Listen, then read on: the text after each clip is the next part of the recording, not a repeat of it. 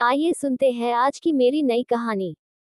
Video का पूरा मज़ा लेने के लिए वीडियो को अंत तक देखिए। राजेश अपनी दीदी के पास, दीदी के ससुराल जाता है। दीदी के ससुराल में उसकी सास एक देवर और उसकी नंद की लड़की गरिमा रहती है। गरिमा की उम्र लगभग 18 साल है, वह बहुत सुंदर और सुशील है।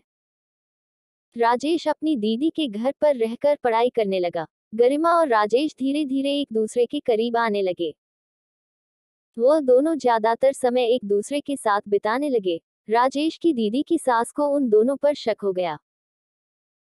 उसने राजेश को बुलाया और कहा, राजेश, बेटा, यह तुम्हारी पढ़ाई करने की और करियर बनाने की उम्र है।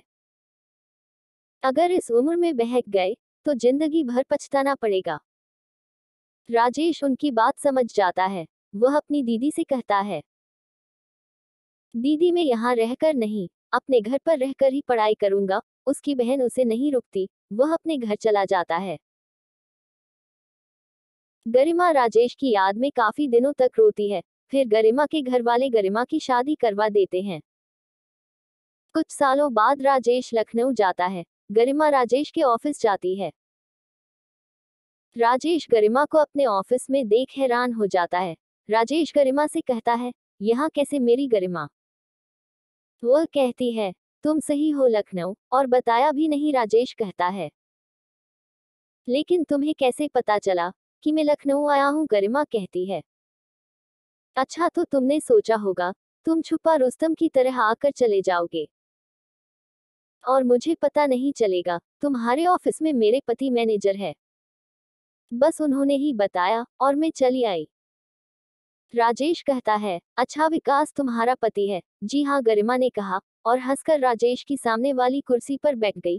गरिमा राजेश से कहती है, आज शाम को तुम्हें मेरे घर डिनर पर आना पड़ेगा। राजेश कहता है, गरिमा, मैं अभी फ्री नहीं हूँ। मुझे बहुत काम है, मैं नहीं आ पाऊँगा, लेकिन वापस जाने से पहले एक बार ज़रूर आऊँगा। और वैसे भी अभी विकास भी शहर से बाहर गया है। तब तक वह भी वापस आ जाएगा। गरिमा कहती है, ठीक है, गरिमा राजेश की तरफ़ एक प्यारी सी मुस्कान करके चली जाती है। राजेश कुर्सी पर पीछे पीठ टिकाकर बैठ जाता है और गरिमा के साथ बिताए लम्हों को याद करने लगता, ना जाने कैसे और कब छह साल बीत गए। और राजेश की भी शादी हो चुकी थी। दो दिन बाद गरिमा का राजेश को फ़ोन आता है। वह राजेश से कहती है मेरे पति घर पर नहीं है, इसलिए मैं बहुत बोर हो जाती हूँ।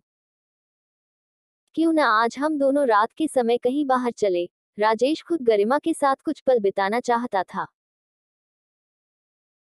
वह गरिमा के साथ घूमने के लिए फॉर्म हाँ कर देता है।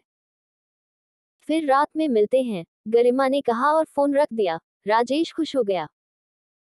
वह सोचने लगा, वह गरिमा के साथ क्लब जाएगा, या किसी रोमांटिक जगह पर।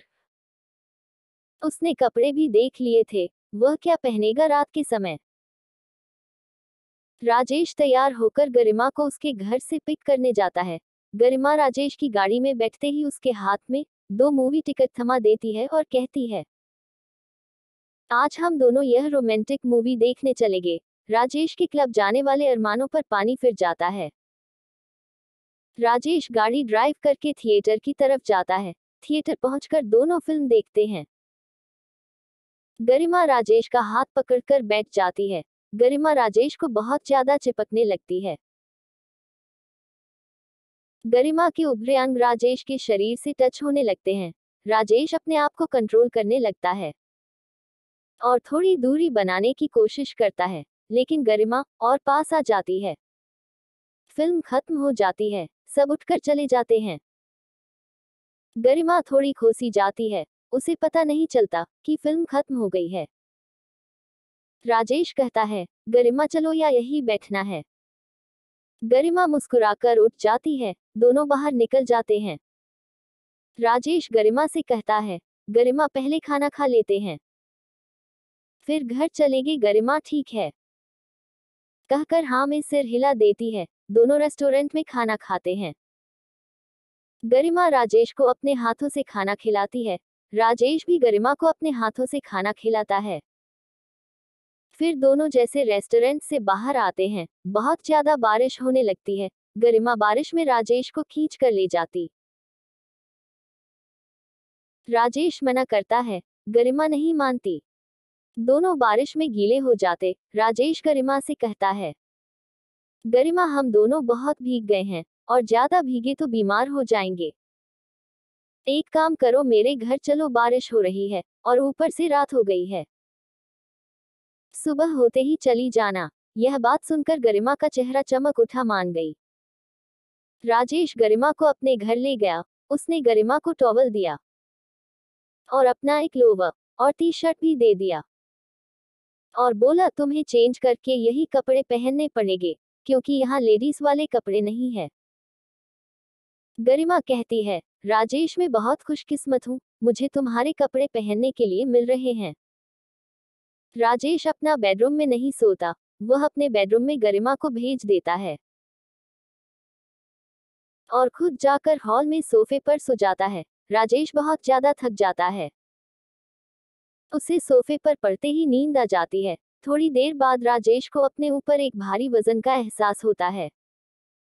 राजेश आँखें खोलकर देता है।